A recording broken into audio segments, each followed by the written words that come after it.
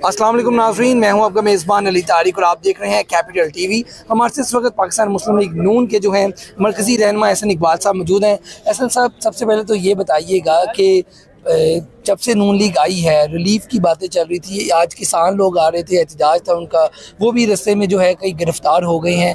ये कैसे रिलीफ देंगे आम आदमी को, इस हवाले से बताइएगा।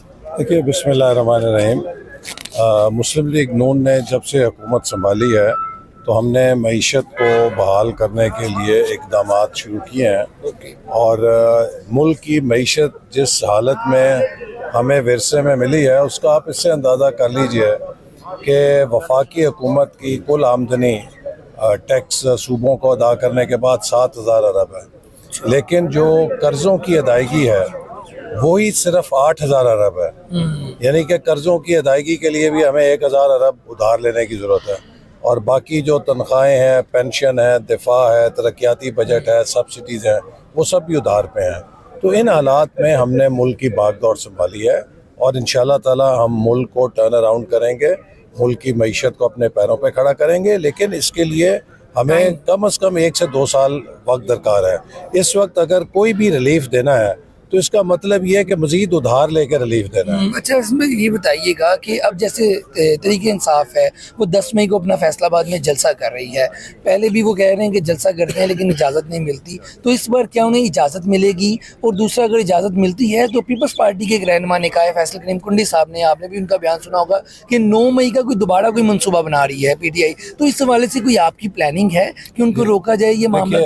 मैं समझता हूँ कि अब इलेक्शन हो चुके हैं। जी। इलेक्शन के नतज सब तस्लीम कर चुके हैं। पी टी आई भी तस्लीम कर चुकी है। पी टी आई के अरकान ने हल्फ उठा लिया।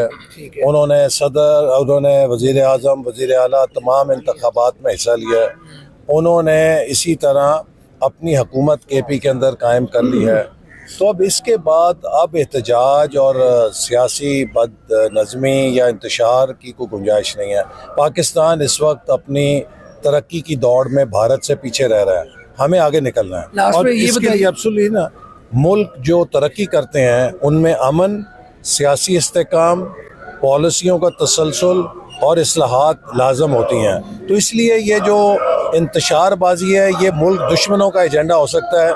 इससे मुल्क का कोई फ़ायदा नहीं है। तो अब इनको अपना ऐवानों के अंदर आके मुस्बत किरदार अदा करना चाहिए। अगर पाकिस्तान के सियासी इसकाम के साथ, अमन के साथ किसी ने खेलने की कोशिश की तो उससे सख्ती से निपटेंगे। हम किसी को इजाज़त नहीं देंगे।